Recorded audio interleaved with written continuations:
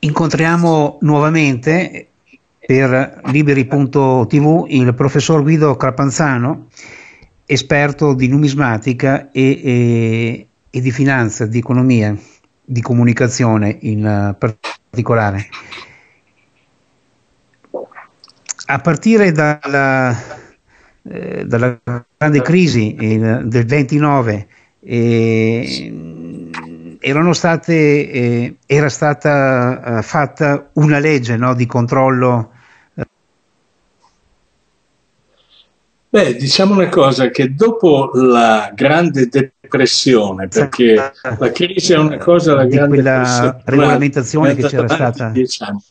Eh? Dopo la Grande Depressione è stata eh, varata una disposizione di legge, una normativa che ha preso il nome di Glass-Steagall Act. Eh, perché? Perché negli anni successivi a, appunto alla Grande Depressione del 29 centinaia e centinaia di banche fallirono e non pagarono i risparmiatori e rubarono i soldi alle famiglie che avevano versato i propri risparmi. Quindi decine di migliaia di famiglie subirono un danno diretto dalle banche che diventarono insolventi. Allora, per evitare che a pagare le speculazioni sbagliate delle banche fossero i risparmiatori, venne fatta una normativa e applicata nel 1933, solo nel 1933, il presidente Delano Roosevelt approvò una legge bancaria chiamata Glass-Steagall Act che garantiva la sicurezza del deposito dai rischi delle speculazioni, separando le banche in due diverse categorie, nelle banche commerciali e le banche d'affari. Quindi esistevano dopo questo gennaio del 1933 delle banche che erano banche diciamo commerciali che raccoglievano il risparmio, facevano operazioni di sconto e di deposito, ricevevano i soldi, eh, effettuavano anche anticipazioni a chi aveva bisogno delle aziende, ma non potevano operare, eh, utilizzare, vendere o comprare titoli di aziende private o di gruppi che non fossero i titoli riconosciuti, i titoli dello Stato oppure titoli delle, del, della borsa, quotati in borsa. Quindi titoli a, anomali, diciamo, o fantasiosi non potevano essere trattati, mentre c'erano delle banche chiamate di investimento, banche d'affari, che, eh, che, le quali potevano trattare tutti i vari tipi di, di, di eh, strumenti finanziari. E, questo, e fra l'altro tutte e due le banche dovevano rispondere e depositare i propri bilanci alla Fed. E le cose sono andate bene fino al 99, quando dopo una serie di pressioni durate 15 anni, i grandi banchieri, la lobby dei grandi banchieri riuscì a fare abrogare questa, questo act, questa legge, e eh, nel 99 con Clinton si arrivò all'abrogazione. Dopodiché cosa è successo?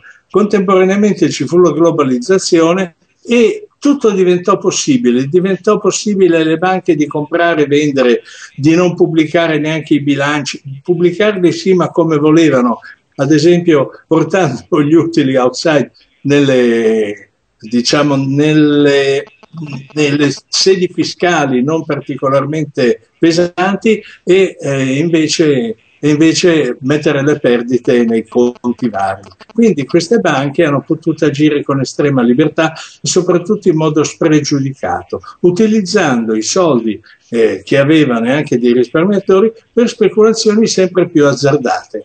Questo ha dato l'avvio, perché prima c'erano i derivati, ma i derivati erano dei titoli sani di copertura che servivano per proteggere da determinate eh, probabilità negative. Ad esempio, se un operatore vendeva all'estero si poteva coprire con dei derivati, o chiamiamoli anche scommessi, allora non si chiamavano proprio derivati, si poteva coprire con un'assicurazione che gli garantiva che se il, il tasso di cambio scendeva oltre un certo limite lui era coperto.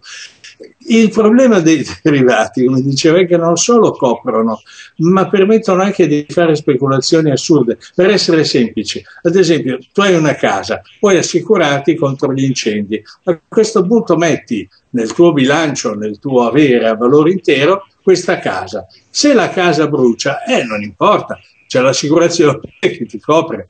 Con i derivati tu puoi fare una cosa stranissima, non solo assicuri la tua casa, ma puoi assicurare anche la casa di tuo zio e anche di uno che non conosci in Alabama e fai una, una scommessa, un derivato su una casa di uno che sta in Alabama che non sai neanche chi è, non l'hai mai visto, non sai neanche se pagherà o non pagherà. Quindi ci sono queste possibilità.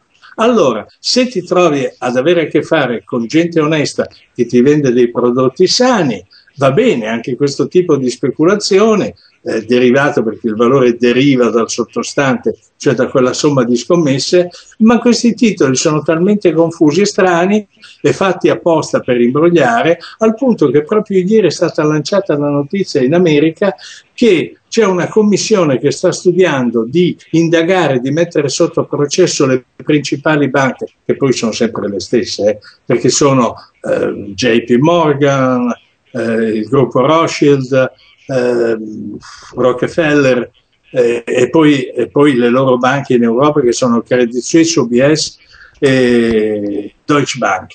E che cosa stanno facendo? Eh, anche Cuomo, il, l'ex sindaco di New York Cuomo, sta facendo delle azioni legali contro queste banche perché hanno diffuso notizie false, hanno le società di rating che davano dei gradimenti molto buoni, dei punti molto buoni a questi titoli che loro vendevano, che poi si sono rilevati tossici e hanno avvelenato tutti. Quindi l'abolizione di questa legge Glass-Steagall del 99 ha aperto la strada alla truffa collettiva, al gioco d'azzardo speculativo più vergognoso. Un altro aspetto, prima di cercarne la connessione con, uh, con, questa, con questa, finanza, e sì. domanda sull'euro. Oh, c'è un destino dell'euro, cioè l'euro in sé può funzionare o ha già qualcosa nella sua struttura che lo porterà a collassare e si tornerà a volenti o nolenti alle, sì. alle, alle monete nazionali di nuovo? Allora, è inevitabile, inevitabile che l'euro non riuscirà a reggere alla battaglia che gli è stata fatta all'inizio dagli Stati Uniti e oggi che ha in atto. Qual è questa battaglia? La battaglia è questa, l'euro è stato fatta, è stato fatto con dei principi molto belli, apparentemente validi e sani. Cioè, L'Europa, invece di avere una banca di emissione che in caso di necessità emetteva denaro, emetteva solo il denaro sufficiente alla circolazione e alla vita commerciale e alle attività, ma non avrebbe avuto l'autorità di, o il diritto di emettere sia la, quindi la BCE, sia il Presidente che il Consiglio, perché? Perché si supponeva che l'Europa sarebbe stata un paese di nazioni virtuose, questa Europa, uh, Unione Monetaria Europea, per cui i deficit dei vari paesi pian piano si sarebbero ridotti, per cui non c'era bisogno di aumentare la circolazione, non era prevista né una svalutazione e soprattutto non era previsto che i paesi facessero dei buchi, che aumentassero i loro debiti. Già quando sono entrati qualcuno aveva fatto delle marachelle e sappiamo bene ad esempio che la Grecia, e sembra anche l'Italia, la Grecia aiutata dalla Goldman Sachs aveva toccato i propri bilanci, come? Mettendo in attivo nei propri bilanci, come dicevo, la casa di uno che non sapeva neanche chi era del nonno, su, e l'aveva messa per il patrimonio che valeva e a un certo punto questa casa quando è incendiata o quando il, il proprietario non ha più pagato i mutui eh, questo certificato che avevano in mano è, è diventato carta straccia, è diventato un titolo tossico. Quindi questi titoli tossici, queste scommesse fatte in malafede, già impostate male, facevano vedere una, una, società che aveva un bilancio, è come se tu avessi in tasca un sacco di assegni e cambiali di persone eh, non affidabili e a un certo punto, nonostante tu in bilancio metti tutte queste cose, fallisci per forza, perché poi non ti pagano. Quindi eh, è stato il concetto errato di creare un'Italia virtuosa, un'Europa virtuosa e tutte le nazioni avrebbero dovuto pian piano ridurre i propri bilanci. Nel momento in cui è scoppiato il caos, eh, è, venuto, è arrivato dall'America il calo, il calo delle richieste, perché l'America è stata la prima che ha vissuto la crisi, l'ha vissuta in prima persona, l'ha creata lei e ha ridotto i consumi, ha ridotto le importazioni dell'Europa. Quando noi ci siamo trovati ad avere eh, questa riduzione di possibilità di esportare, una riduzione anche dei consumi interni e si è sparsa la voce che le cose andavano male, è successo un guaio. E questo guaio si è concretizzato in quel collasso dell'economia. Ecco, a questo proposito bisogna chiamarlo per forza collasso. In una trasmissione che io ho fatto sul TG2, un'intervista che mi hanno fatto al TG2 eh, il 30 di ottobre del 2008, ho detto una frase molto particolare. Chi va su un sito che ho fatto che si chiama finanzafacile.tv trova questa intervista dove io dico il crollo del muro di Berlino ha determinato la fine del sistema comunista collettivista.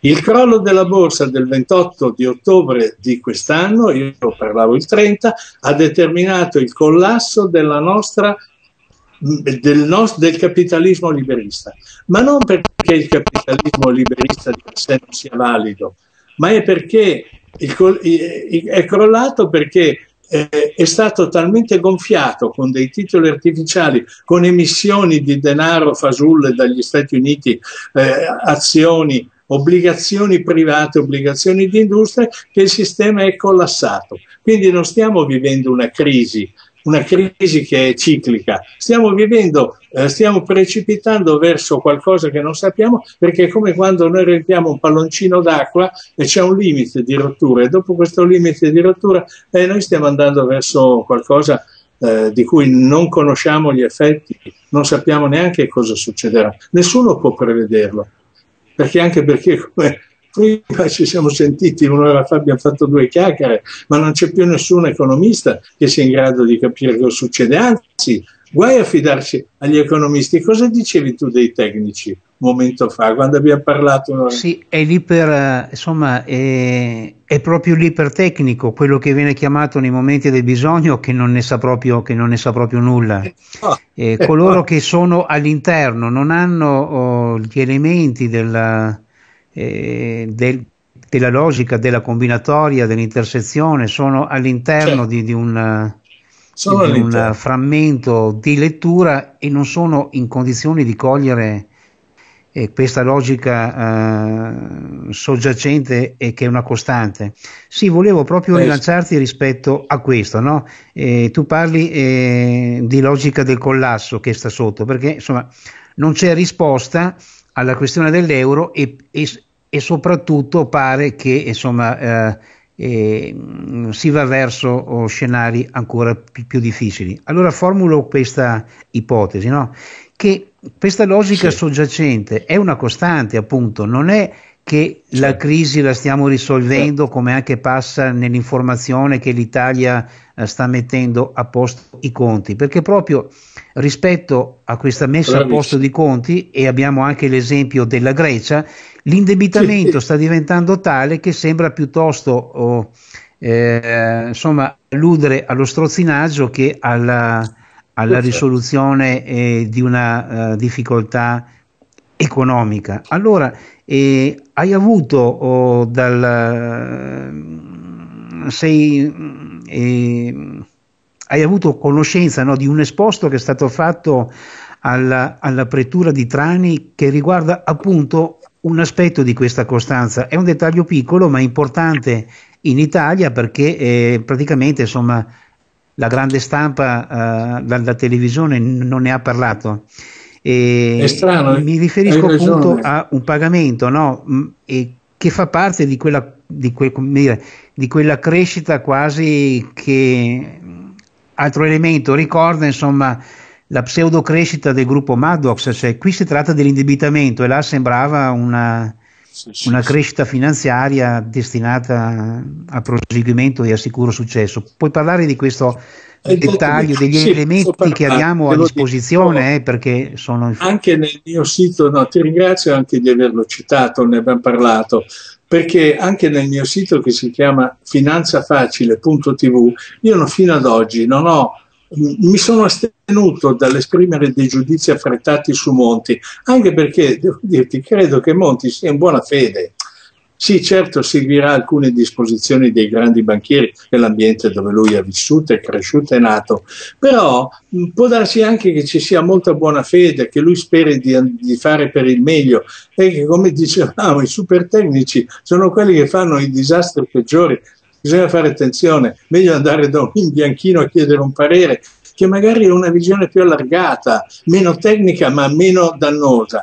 E, e cosa è successo? Che ho, da internet, perché sui giornali è stata trascurata la notizia anche dalle grandi televisioni, e mi è giunta notizia che c'era stato un esposto di un onorevole italiano nei confronti di Mario Monti, un esposto presso la Procura di Trani, eh, la quale Procura di Trani da un po' di tempo si sta occupando eh, dei, delle truffe fatte dalle banche. Ad esempio, proprio in questo momento sta facendo un'indagine nei confronti eh, di Passera, ma non particolarmente di Passera quanto di Banca Intesa, perché circa 200 commercianti pugliesi sono stati truffati con i derivati. E allora la Procura ha aperto un'indagine e un onorevole che si chiama Roberto Fiori ha presentato il 4 di aprile un'esposta a questa Procura della Repubblica di Trani chiedendo l'apertura di un'indagine contro il presidente Mario Monti per avere disposto lo scorso 3 gennaio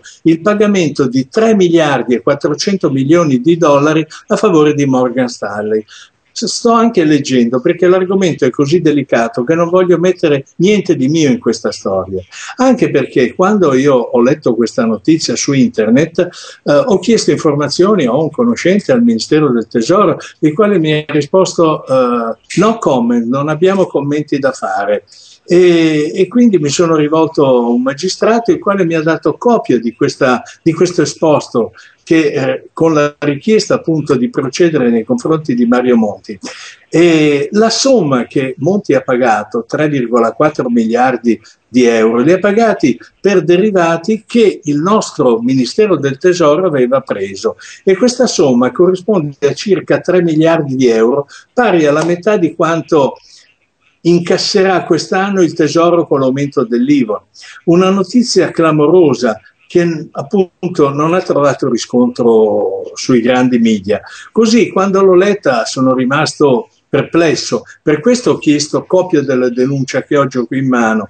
L'agenzia Reuters ha infatti diffuso una dichiarazione l'11 aprile eh, diffusa ai cronisti dal direttore generale del Tesoro, la dottoressa Maria Cannata, che è stata interrogata appunto dai giornalisti sulla realtà di questa notizia, se era vero che era stata pagata la somma.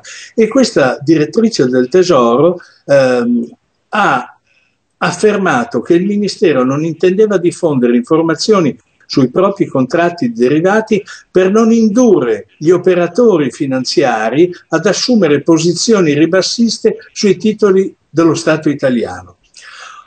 Allora ho preso copia della denuncia e mi sono accorto che nell'esposto l'onorevole Fiori chiedeva l'apertura di indagini per verificare la sussistenza di eventuali ipotesi di reato relativamente alla condotta di Mario Monti, quale Presidente del Consiglio e titolare ad interim del Dicastero delle Finanze per gravissimo danno agli interessi nazionali, per avere disposto il pagamento alla Morgan Stanley di questi 3 miliardi di euro a definizione chiusura di perdite sui derivati risalenti al 1994.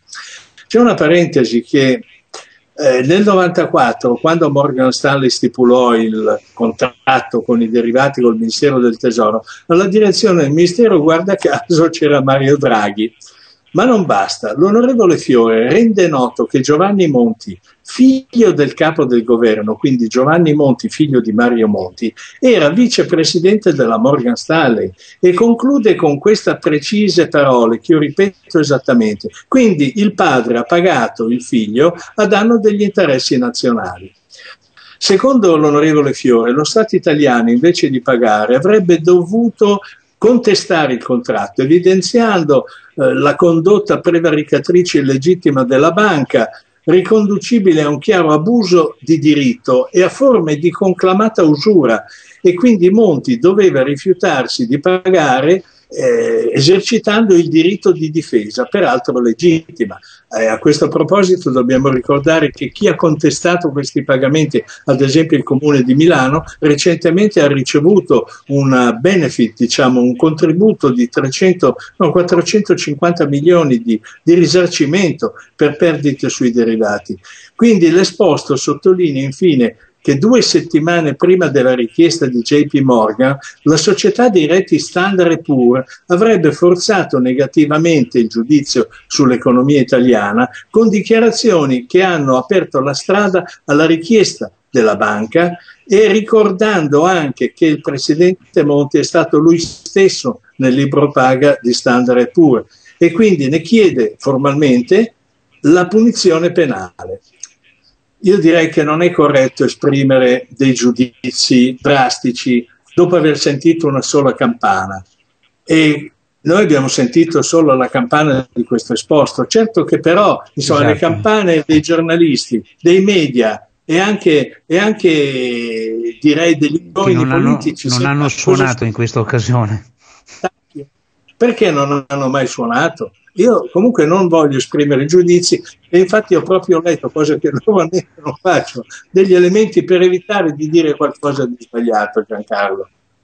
Sì, torniamo a, a una questione che, che è, sembra meno importante, sembra quasi teorica, ma eh, eh, è la questione, no? se, eh, se, c'è questa logica, eh, se c'è questo, questa, eh, questa mentalità che supporta anche la mentalità dei finanzieri, perché non è questione di, eh, come dire, di, un, di un gruppo ristretto eh, di uomini, ma è, eh, si potrebbe dire che è il modo di pensare dell'Occidente, perché eh, al di là della, della, degli errori tecnici, che siano falsificazioni, che siano eh, creazioni fantastiche di titoli che non hanno nessun valore, c'è un modus operandi che è, lo, che è, quello del banchiere, che è quello del politico, che è quello dell'imprenditore, che è quello dell'intellettuale, sembra quasi una veste comune. Allora,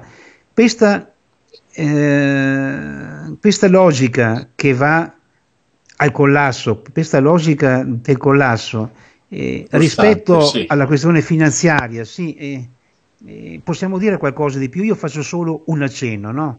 che è linguistico. Sì. Crisi, è, crisi, crisis, è l'altro nome del giudizio. E l'ideologia della crisi, che viene sventolata a grandi bandiere in tutto l'Occidente per digerire questa cura dimagrante che in effetti è ingrassante no? Del, dei gruppi bancari, dei gruppi eh, finanziari, è senza giudizio, cioè paradossalmente no, questa crisi è senza crisi, è proprio senza giudizio. Il giudizio però non è degli umani, è quello che voglio dire, noi non stiamo noi eh, giudicando oh, l'operato, nemmeno io oh, faccio questa operazione, no, non giudico questo operato di Monti come dei gruppi bancari, eccetera, perché in ciascun caso il giudizio è del tempo, non, non, non lo danno gli uomini, non l'hanno, non l'hanno gli uomini, non l'hanno, che ne so, i giornalisti o per esempio anche il politico che ha fatto questo. Allora mi chiedo se la crisi è il giudizio, eh, qual è il modo del proseguimento oggi? No, molto semplicemente, perché sì. noi abboccando l'ideologia della crisi ci digeriamo tutta questa cura dimagrante che sta facendo fallire persone, che provoca suicidi. Io oh, lo vedo, sono oggi di riposo, qui nella mia piccola vallata non passano auto, non vanno a Cavalese, e gli alberghi sono oh, solo alla metà e si avverte questo tessuto, ma questo tessuto è fatto per un'operazione dimagrante, no? Per una applicazione sì. del terzo escluso che sta in questa logica collassante. Cioè, qual è, eh, eh, possiamo promuoverla, qual è la logica che non è collassante? Se la logica sulla quale poggia l'Occidente e persino la, la, la creazione dell'euro e come la vita dei finanzieri porta a non sapere eh, quale sia il destino, e quella volta che ci sono degli elementi attorno alla, a, alla vita Qual è Senti, la... scusami se ti fermo un momento, eh, perché il problema bisogna vederlo da un altro punto di vista. Eh, in questo momento ci sono molti che dicono ma guarda un po', le banche hanno bisogno di soldi e allora sono le banche che eh, guadagnano, però le banche perdono, le banche, cioè non si capisce bene, le banche stanno guadagnando cifre enormi, sì, ma e allora com'è che sono tutti in crisi e rischiano di saltare? Il governo americano ha tirato fuori miliardi di dollari, decine, migliaia di miliardi di dollari, anche la BCE, perché? Perché bisogna capire una cosa, chi sta guadagnando è un ristretto gruppo di grandissimi finanzieri che sono i responsabili della crisi del 1907, della grande depressione del 29 e del collasso di oggi e hanno sempre guadagnato durante tutti questi periodi.